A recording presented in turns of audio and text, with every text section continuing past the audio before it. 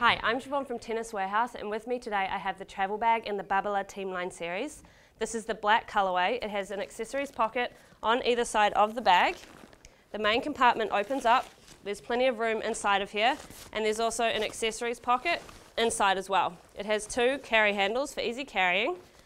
On the bottom of the bag, there's some wheels to pull the bag along and protection to keep the bag clean.